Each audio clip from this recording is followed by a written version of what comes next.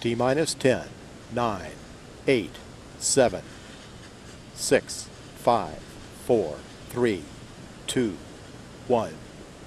Ignition and liftoff of Ares 1X. Testing concepts for the future of new rocket design.